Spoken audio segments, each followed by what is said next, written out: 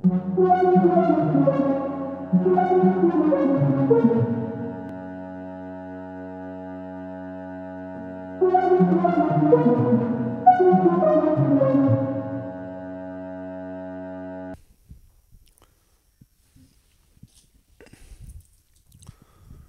여러분 안녕하세요. 지금이 그 토요일 오후 5시 37분을 지금 지나고 있습니다. 오늘은 그 노태우 대통령이 이 노태우 전 대통령님이 이 세상을 떠나서 그 연결식을 거행한 그런 날입니다. 그래서 그 노태우 전 대통령님의 좀 얘기를 해봐야 되겠어요. 그 노태우 전 대통령이 대통령 되기 전에는 말이죠.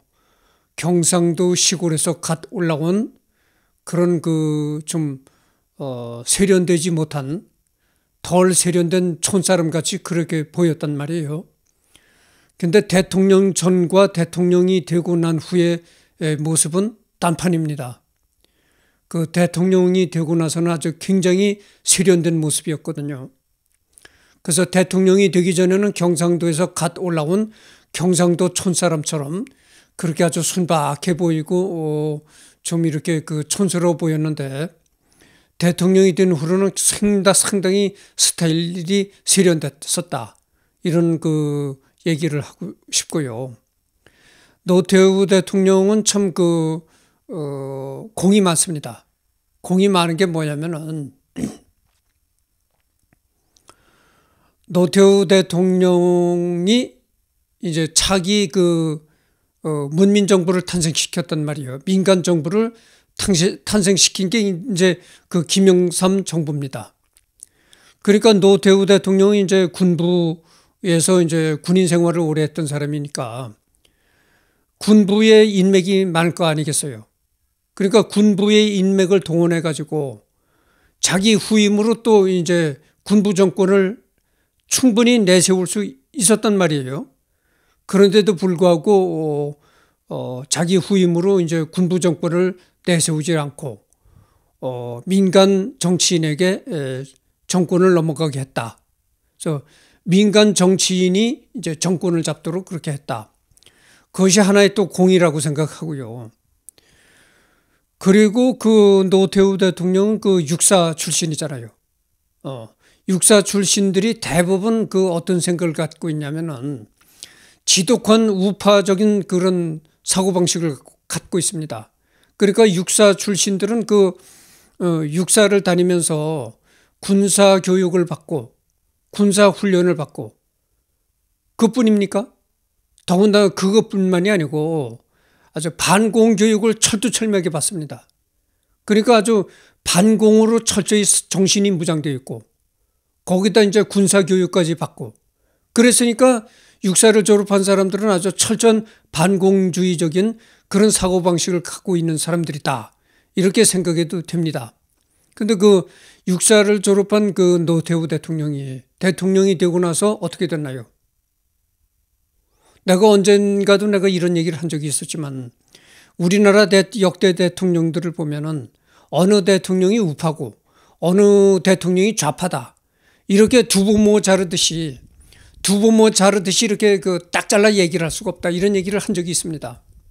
그래서 우파적인 대통령도 어, 좌파 요소를 가지고 있었고 우리가 흔히 그 좌파 대통령이라고 하는 사람도 우파적인 요소를 갖고 있었다.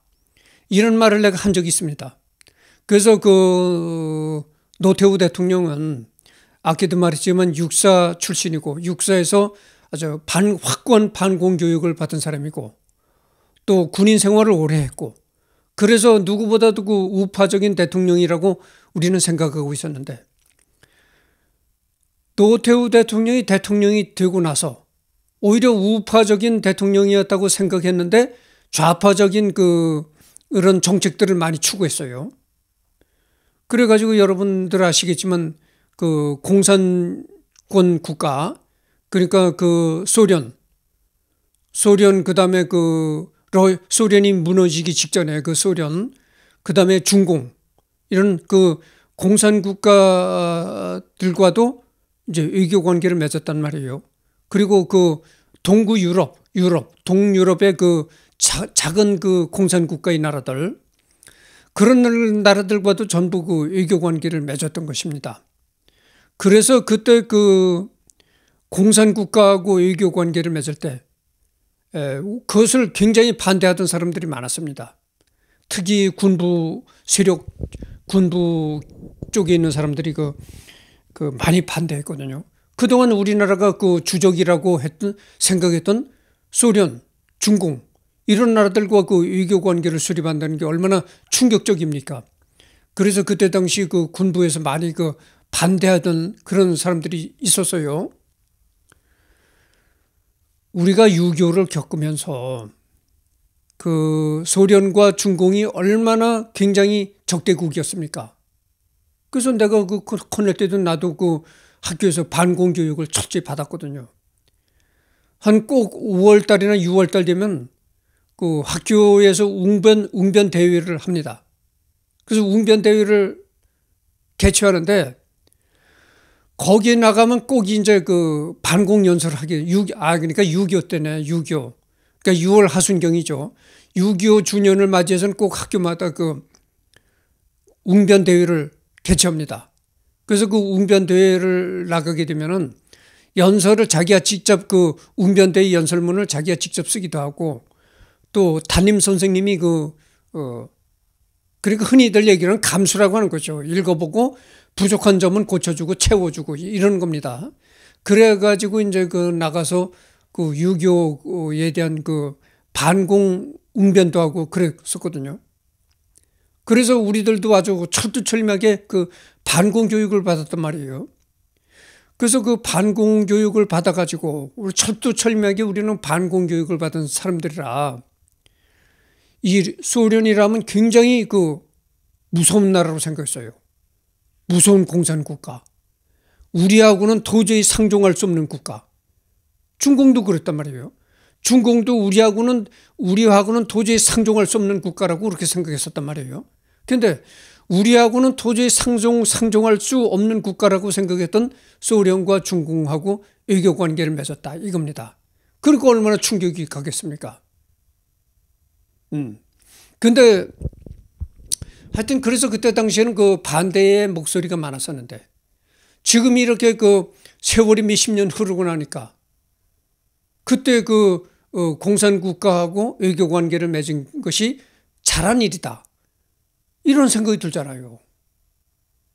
지금 저 우리나라의 그 탈북민이 우리나라에서 살고 있는 탈북민이 3만을 넘고 있다 그러잖아요. 그렇게 탈북민이 지금 많습니다. 그래서 뭐 지금 예전에는 그 탈북민을 만나기가 굉장히 힘들었었거든요. 어, 탈북에서 온 사람들이 그렇게 아주 드물었어요. 근데 이제는 뭐, 어, 어떤 뭐 공장 같은 데 가도 탈북민을 만날 수가 있고, 어디 뭐 노가다판 가서도 탈북민을 만날 수가 있다. 그런 얘기예요. 뭐 길거리 길을 가다가도 탈북민을 만날 수가 있고.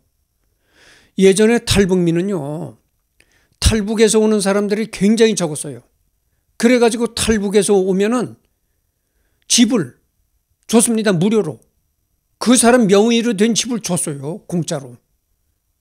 그 정도로 우대를 했습니다. 그러니까 탈북민이 숫자가 적다 보니까 그 사람 명의로 된 집을 무상으로 제공한 거예요. 근데 이제는 그리고 생활비도 아주 듬뿍 줬나 봐요. 생활비도 지금 돈으로 말하자면은 집, 집을 무료로 제공하지 또 당분간 생활할 수 있는 생활비를 지금 돈으로 따지면 한 3천만 원 정도 줬나 봐요. 근데 지금은 탈북민이 하도 많아지다 보니까 그렇게 대우를 못하고 임대 아파트를 주는 거죠. 어, 소형이 임대 아파트를 주고 생활비는 한 300만 원 정도 주나 봐요. 그런 그게 전부입니다. 그러니까 탈북민이 숫자가 하도 많아지다 보니까 과거와 같은 그런 아주 어, 엄청난 지원은 못하는 거죠. 그런데 우리 하여튼 우리나라에 지금 대한민국에 와서 살고 있는 탈북민 숫자가 3만을 넘고 있다는 얘기입니다. 그러면 어떻게 그렇게 갑자기 탈북민들이 늘어났느냐? 바로 이게 노태우 대통령 덕분이죠. 그러니까 우리나라가 소련과 중국, 중공과 외교 관계를 맺기 전에는 탈북민이 굉장히 드물었습니다. 어, 탈북해서 어떻게 오겠어요? 바다로 온다든가. 그렇지 않으면 휴전선을 해서 어, DMZ를 통과해야 되는데 비무장지대를 통과해야 되는데 그 휴전선 근방이 어떻게 됐습니까? 아주 지뢰가 아주 촘촘히 깔렸잖아요. 거기를 어떻게, 어떻게 옵니까? 지뢰가 촘촘히 깔렸지. 철조망은 고압선을 흐르게 하지. 사람이 그 철조망 가까이만 가면 그냥 쩍 닫아부터 감전돼 죽어요. 그 지뢰가 촘촘하게 깔렸지. 철조망에 고압선을 통과시키지. 하는데 너 휴전선으로는 넘어올 수가 없는 겁니다. 바다라. 이, 여러분 바다도 얼마나 그 넘어오기가 얼마나 힘듭니까? 그러니까 이 중공과 소련과 외교 관계를 맺기 전에는 탈북민이 크게 적었습니다. 그래가지고 탈북민한테 뭐 집도 무료로 제공해주고 엄청난 지원을 했었는데 이젠 탈북민이 하도 많아지다 보니까 집을 못 주고 임대 아파트를 주는 거죠. 그런데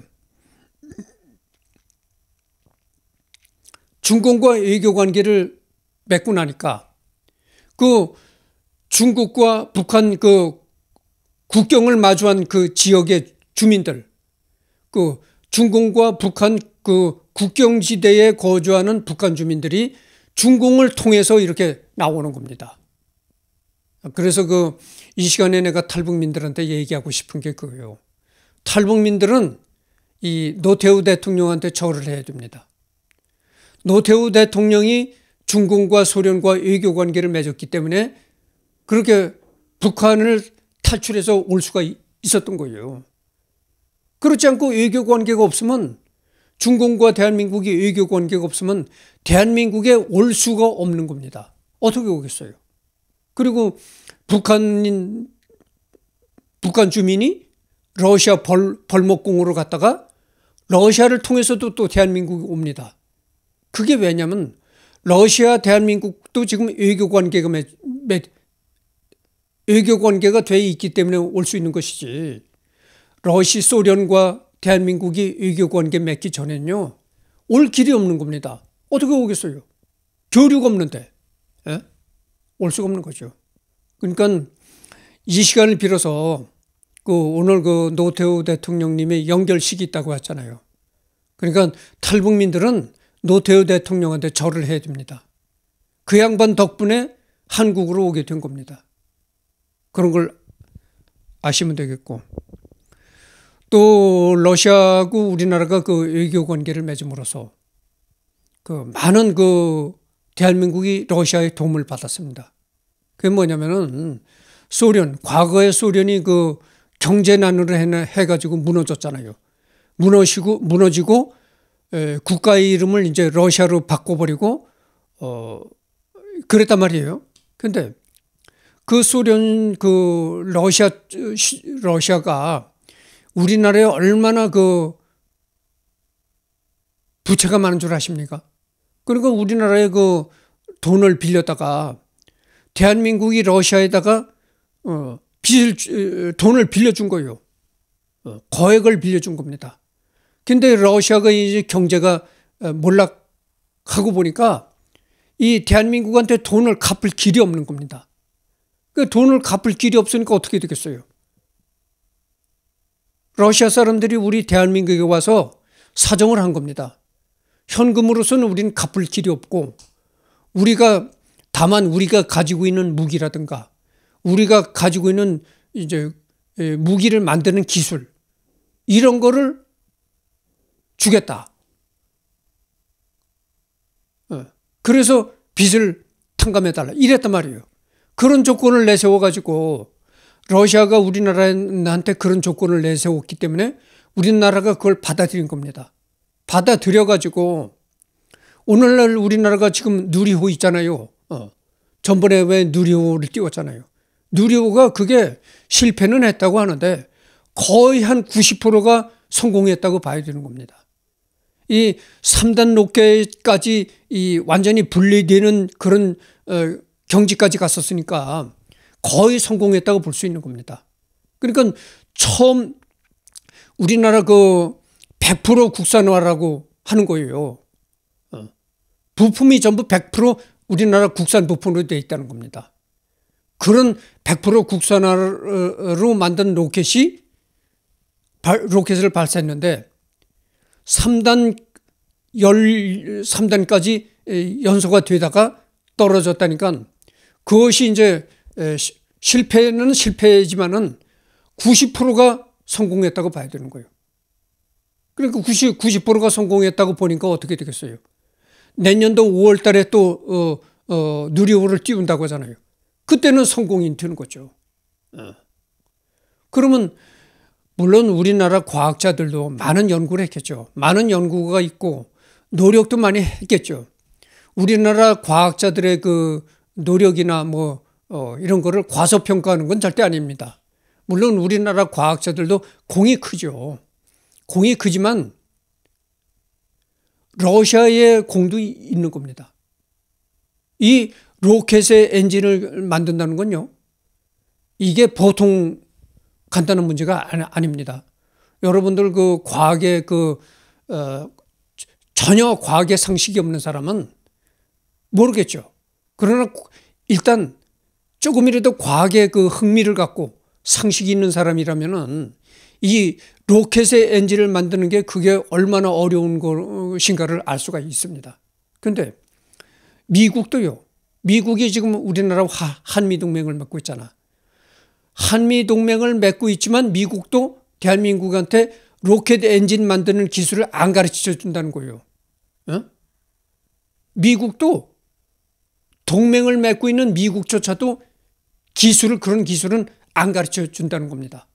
그런데 소련, 러시아 때문에 우리가 그 어? 처음으로 그 로켓 만드는 엔진 그 어? 비밀을 알아낼 수가 있었던 거예요. 그러니까 우리나라가 아주 로켓이라는 걸 처음 그 만들 엄두조차도 못 낼 때 이 러시아 기술자들이 우리나라에 와서 그거를 기초적인 거를 가르쳐 준 거예요. 어. 그래서 그걸 밑바탕을 해가지고 오늘날 우리나라가 누리호도 띄우게 된 겁니다. 그리고 어떻게 됐어요? 러시아가 얼마나 우리나라 그 어, 과학기술의 그 토대를 마련해 줬는가 알 수 있잖아요. 그래서 그 그것도 그것도 다 러시아하고 외교 관계를 맺었기 때문에 그렇게 된 겁니다. 그래서 오늘날 이렇게 보면은 그 노태우 대통령의 공은 참으로 많다. 이런 얘기를 합니다. 그리고 그 비자금을 조성한 거, 비자금을 조성한 게 이제 그 전두환이는 비자금을 조성했는데도 아직도 예, 완납을 안 하고 있잖아요. 완납을 안 시키고 있잖아요. 어. 배째라 이런 식으로 말이야. 그런데 노태우 대통령은 그 비자금 문제가 자꾸 그 비자금 문제 때문에 그 감옥에도 갔었잖아요. 그리고 나서 그거를 다 완납을 시켰습니다. 어. 다 자기가 그 비자금 조성했던 거를 다 완납을 시킨 거예요. 그러니까 얼마나 그, 어, 그럽니까? 그래서 그, 그리고 노태우 대통령의 또 장점이라는 거는 군인 출신들이 육사나 이런 게 나와가지고 이제 별을 달고 이런 군 출신들은요. 좀 성격이 이렇게 뭐라고 하나. 이 군인 생활 오래 한 사람들은 성격이 좀 이렇게 뭐라고 하나요. 어, 좀 경직되어 있다고 할까. 그렇습니다. 그런데 이 노태우 대통령은 오랫동안 군 생활 한 사람 같지 않게 그렇게 아주 인품이 부드러웠어요. 그리고 오랫동안 육사를 졸업했지, 오랫동안 군 생활했지, 이 어깨에다가 이제 별까지 달고 오랫동안 군 생활을 했음에도 불구하고 이렇게 항시 그 아주 부드럽게 행동도 부드럽고 이렇게 했어요. 미, 민간인처럼 이렇게 민간인처럼 그렇게 이 인성이 그랬습니다. 그래서 그 하여튼 그 오늘 오늘날 그 오늘이 그 노태우 대통령 연결식이 뭐 올림픽 공원에서 있었다고 하잖아요. 그래서 그 어, 노태우 대통령에 관해서 얘기를 했습니다.